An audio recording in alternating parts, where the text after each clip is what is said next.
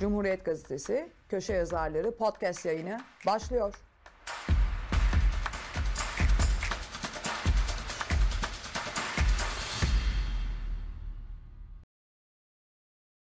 AK Parti bir anayasa yapsa. Özdemir İnce 29 Eylül 2024 Pazar AK Parti kendi başına bir anayasa yapsa yer vermeyeceği maddelerden bazıları.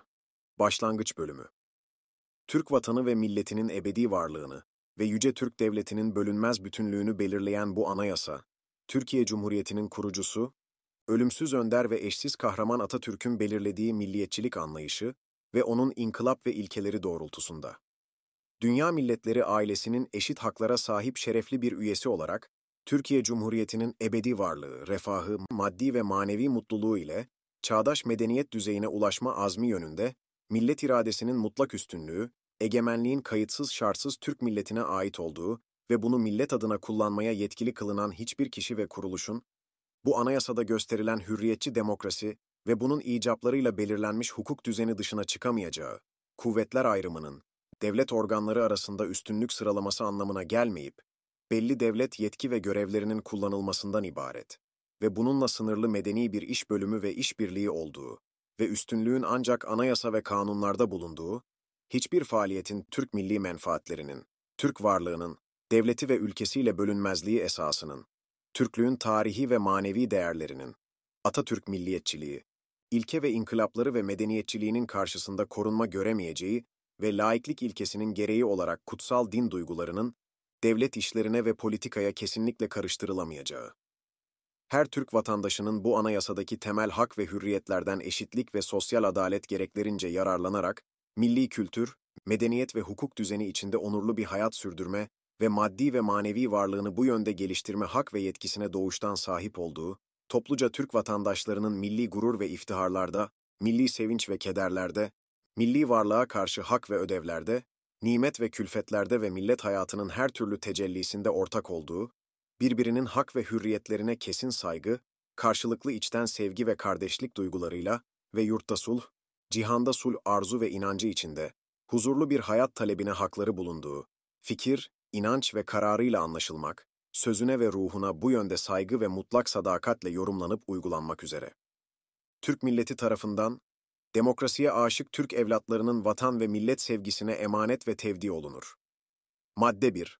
Türkiye Devleti bir cumhuriyettir. Madde 2.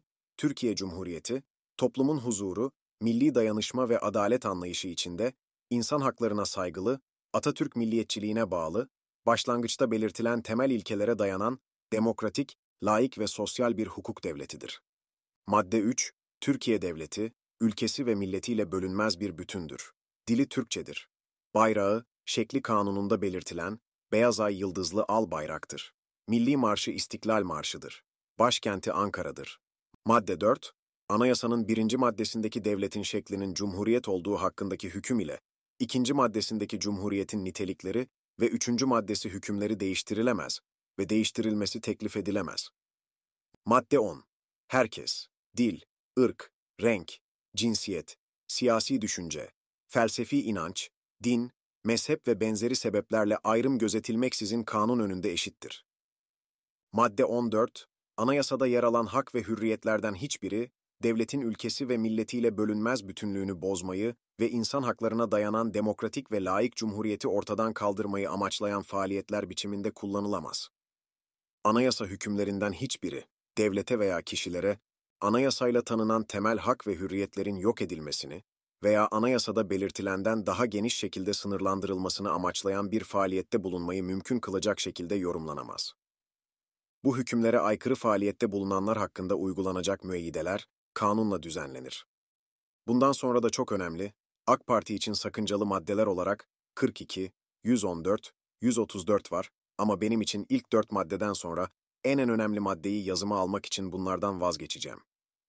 Madde 174, anayasanın hiçbir hükmü, Türk toplumunu çağdaş uygarlık seviyesinin üstüne çıkarma ve Türkiye Cumhuriyeti'nin laiklik niteliğini koruma amacını güden, aşağıda gösterilen devrim kanunlarının, anayasanın hal koyu ile kabul edildiği tarihte yürürlükte bulunan hükümlerinin, anayasaya aykırı olduğu şeklinde anlaşılamaz ve yorumlanamaz. 1. 3 Mart 1925 tarihli ve 430 sayılı Tevhidi Tedrisat Kanunu. 2. 25 Kasım 1925 tarihli ve 671 sayılı Şapka İktisası hakkında kanun. 3. 30 Kasım 1925 tarihli ve 677 sayılı tekke ve zaviyelerle türbelerin kapatılması ve türbedarlıklar ile bir takım unvanların men ve ilgasına dair kanun. 4. 17 Şubat 1926 tarihli ve 743 sayılı Türk Kanunu medenisiyle kabul edilen, evlenme akdinin evlendirme memuru önünde yapılacağına dair medeni nikah esası ile aynı kanunun 110. Maddesi hükmü. 5.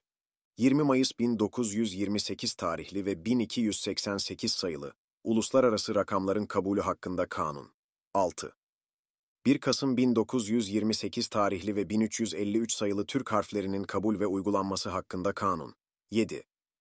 26 Kasım 1934 tarihli ve 2590 sayılı Efendi Bey Paşa gibi lakap ve unvanların kaldırıldığına dair kanun. 8. 3 Aralık 1934 tarihli ve 2596 sayılı bazı kisvelerin giyilemeyeceğine dair kanun. Cumhuriyet Gazetesi Köşe Yazarları podcast yayını sona erdi. Tüm köşe yazarlarımızın yazılarını Cumhuriyet.com.tr'den ve gazetemizden okuyabilirsiniz.